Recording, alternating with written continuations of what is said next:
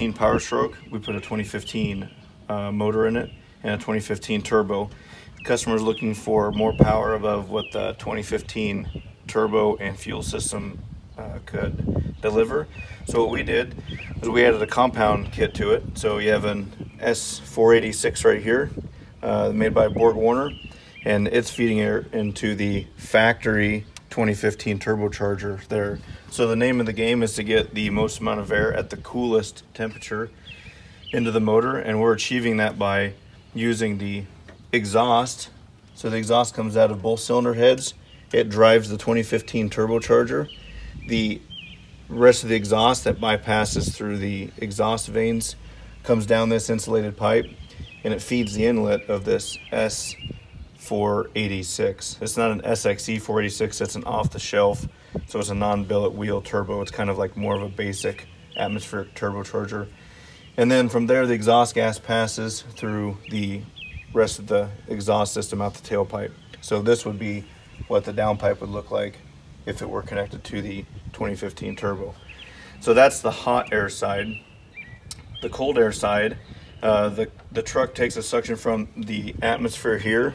And the name of the game behind this turbocharger, the cold side of the turbo, is to increase the net positive suction head that the 2015 turbo has. So typically, if we didn't have the compound turbo here, this turbo would have to raise pressure from today's like 14.2 psi a out a outside.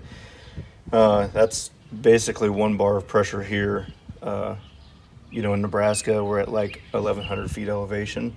So the name of the game, if this was stock, would be to raise the pressure from 14 pounds absolute pressure, which is zero pounds gauge pressure, to our desired target boost pressure, which varies but 28 to 34 psi.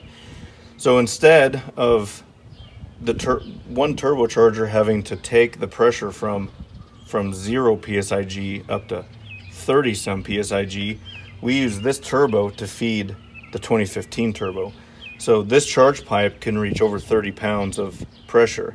And this turbo now only has to raise pressure from 30 pounds to a maximum of, we're like 40 to 50 psi of charge pressure. So fresh air comes in here. This turbocharger is spooled by the exhaust from the 2015 turbo. This raises boost pressure up. This turbocharger inhales the pressure from this turbo and it goes through the air, uh, the, the water uh, intercooler here. This is a factory Ford style intercooler, but no limit fabrication um, has supplied us with a, a little bit better heat exchanger. And then the air comes out of the heat exchanger and is fed right into the each head pipe through a modified Y bridge. So we end up at like 630 grams per second of airflow at about 130 degrees at full load versus we'd be at max on a 2015 turbo by itself, we'd be about 400 grams per second of airflow and about 200 degrees. So we're at a higher boost pressure, but the temperature is cooler because we're having to compress the air less because we have a big turbo to feed a small turbo to desire to give us our desired air load. And the only other modifications are done is a 10 millimeter CP4 pump um, so we can get the required pressure to get over 700 rear wheel horsepower out of this truck. Uh, stock bottom end, 1500 foot-pounds of torque. So we get a lot of questions about how do we flash, how do we tune these trucks. Um, we develop these things on the dyno, but then final proving is on the street just to make sure they run properly and shift properly. We use EZ LYNK um, on this particular application. So you can see these are these are the tunes that we've developed. So this is the EZ LYNK Auto Agent app. It's uh, linked to us, uh, VSE. So you can go to the ECU profiles and you can see that the last um, the last installed tune that was in the truck was a 700 rear horsepower compound turbo um, application. So it has TCM tuning included. The technician's us. Um, so you can see the details to put to install these into the truck. Uh, you would literally go to the tune that you want to you want to install um, and then we just have a host of tunes we built for it. So you just go to the cloud and then you download the, the tune. And then it'll take just a few seconds because it's a 2000 or more kilobyte file. and then you hit install, and it'll install the ECM and TCM profile. Uh, those are the two that we have uh, selected for this, but there's a ton of different tune options for this.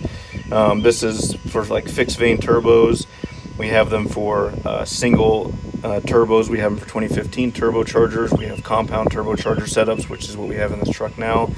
So there's tons of them, but this is a cloud-based app and it literally pulls the data from the web, downloads it into the EZ LYNK box, and then it's imported into the vehicle's um, engine control unit and transmission controller via the OBD2 plug. So the EZ LYNK's installed into the truck. Takes about three minutes to flash both engine and transmission. And then so the users can literally pick the ones that they want. And if they have multiple trucks hooked to one EZ LYNK box, they can just select the different trucks that they may or may not be linked to, and then they can install tunes in those with using one EZ LYNK device.